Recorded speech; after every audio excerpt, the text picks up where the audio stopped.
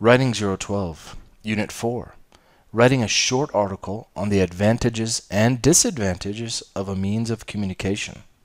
By the end of Unit 4, you'll be able to identify the format of a short article and write a short article on the advantages and disadvantages of a means of communication. For example, cell phones. Now, let's take a look at the format of a short article.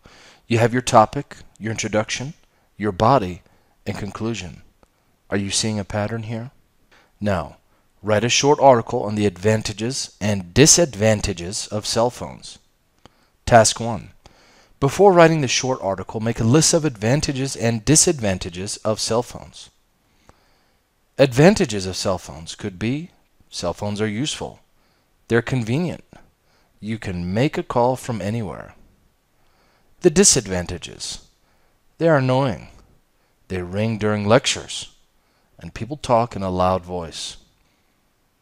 Note, arguments for something are called pros these are the advantages.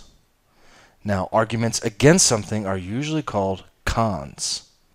Task 2. Use your notes to write a short article about the pros and cons of cell phones. The pros and cons of cell phones. This is your topic. You have your introduction, your body, and your conclusion. I would like you to post this in the appropriate place as indicated in the announcements section of Blackboard.